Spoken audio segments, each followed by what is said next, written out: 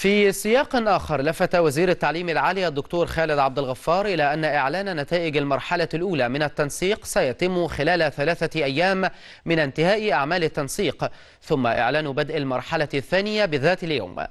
وخلال تفقده مقر مكتب التنسيق المركزي بمقره الجديد بجامعة عين شمس اطمأن عبد الغفار على سير العمل بالمكاتب والقطاعات والقاعات المخصصة وكذلك اطمأن على اتباع الإجراءات الوقائية والاحترازية لضمان سلامة كافة المترددين على مكتب التنسيق مشددا على ضرورة تقديم التسهيلات اللازمة للطلاب.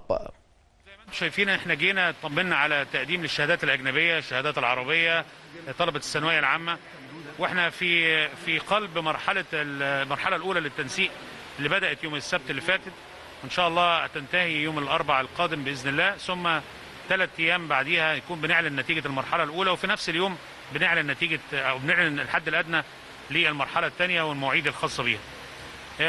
يعني بنطمئن على يسر وسهولة التعامل مكتب التنسيق مع المواطنين ومع أبنائنا الطلاب اللي عنده سؤال. إحنا قلنا في أكتر من مرة إحنا حتى الجامعات المصرية في كل المحافظات متوفر فيها معامل الكمبيوتر علشان تقدر انها أي طالب مش عارف إن هو يخش على الموقع الإلكتروني أو يسجل رغباته أو عنده حتى حالة من العدم الوعي أو الإدراك في اللي هو عايز يحمله بيروح الجامعة وبناء على التعامل مع قضايا التدريس والهيئه المعاونة جنب محافظته جنب قريته جنب بلده نقدر ان إحنا نساعده لحد ما نطمئن تماما ان هو دخل الرغبات زي ما هو نفسه فيها. هو اللي تقدم ما يقرب حتى الآن 120 ألف طالب من طلاب المرحلة اللي يقدر عددهم بحوالي 150 ألف. طبعا ده عدد يعني ممتاز جدا إن في خلال يومين يتقدم 120 ألف طالب. ده دليل إن الحمد لله الأمور ميسرة لجميع أبنائنا الطلاب. بس يعني أنا برضو نصيحة من خلالكم كلكم الطالب اللي قدم رغباته وعاوز يعدلها في خلال فترة المرحلة ممكن يعدلها